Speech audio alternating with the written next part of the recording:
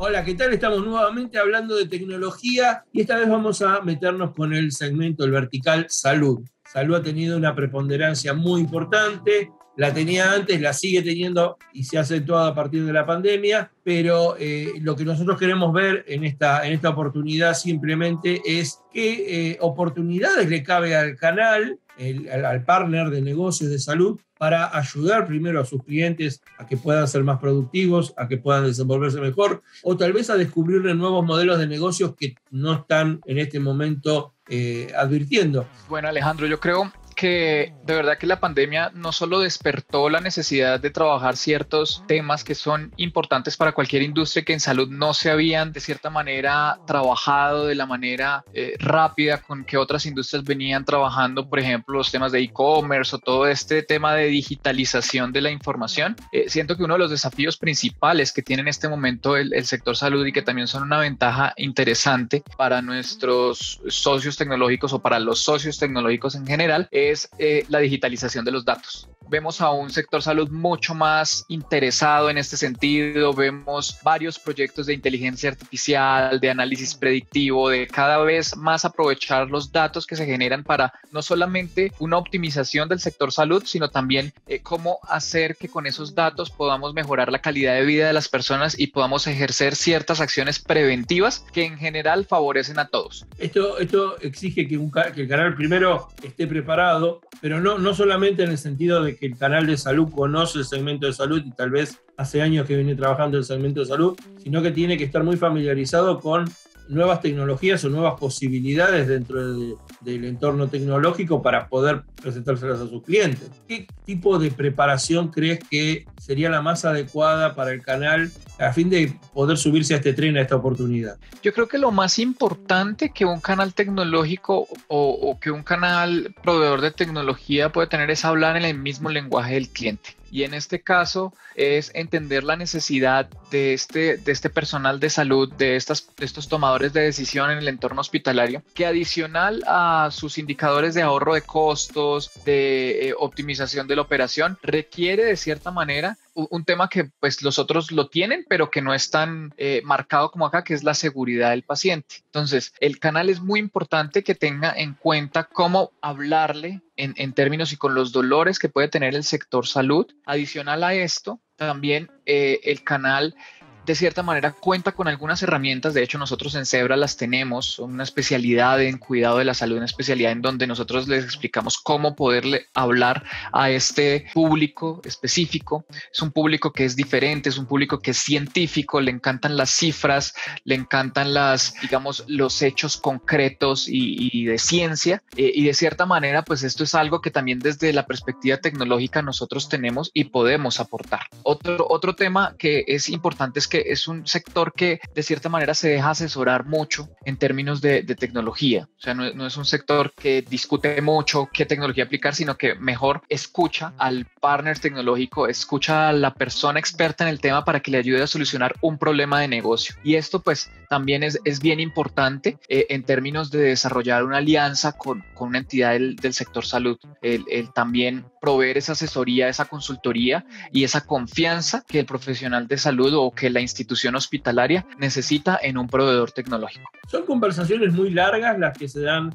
en los proyectos del sector salud, o el sector salud sigue la lógica del mercado de proyectos de corto alcance que permitan variaciones, o sea, que sean ágiles, que den resultados rápidos. ¿Cómo son esas conversaciones? Hay hospitales que, por ejemplo, eh, es muy importante la seguridad y la experiencia del paciente. Generalmente estos hospitales les gusta generar proyectos rápidos para mejorar la calidad de atención de sus pacientes. Hay otros que, por ejemplo, están en proceso de certificación con diferentes entidades de, certificación que de cierta manera permiten que esta implementación de tecnología pues sea rápida porque la necesitan para ese objetivo final que es su certificación. Sin embargo, uno de los mayores drivers de salud y las instituciones hospitalarias es la regulación definitivamente. Digamos que en ese, en ese entorno el sector o la industria en general es muy reactiva a las regulaciones que tenga el gobierno en términos no solo de manejo de datos, sino en protección al paciente, en protección a, en trazabilidad de medicamentos, en otros temas que también son importantes para el sector hospitalario, pero que son movidos por los gobiernos. Eh, los gobiernos generalmente dan un tiempo estipulado para generar ciertas mejoras en todo el sistema de salud eh, y esto pues es uno de los principales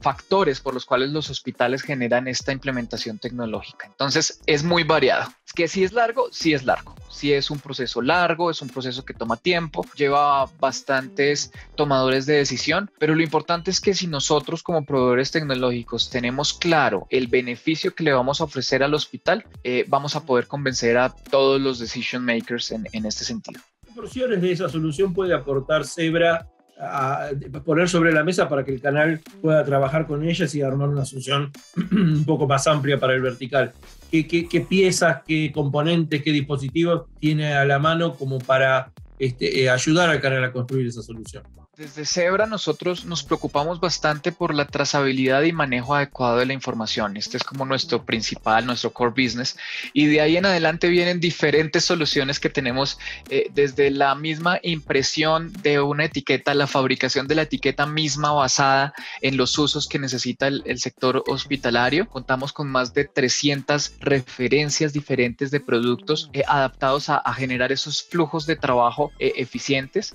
Contamos con las impresoras de, los brazaletes que nosotros utilizamos para identificación de paciente en, hospitales, por ejemplo, eh, hasta la misma generación de eh, computadores móviles también que están eh, al servicio de los profesionales de primera línea para atención en la cama, capturadores de códigos de barras que permiten de cierta manera generar esa trazabilidad y esa alimentación en el, en el sistema de manera eh, eficiente y en tiempo real. Y pues otras soluciones que también llevan a complementar este flujo de información como puede ser el control de activos, eh, la trazabilidad en tiempo real de los diferentes sistemas de personas, de procesos y también de, de activos como medicamentos, la tecnología RFID, que también es algo que lleva un tiempo, pero que en este momento tiene una implementación bastante fuerte en procesos como la lavandería, por ejemplo,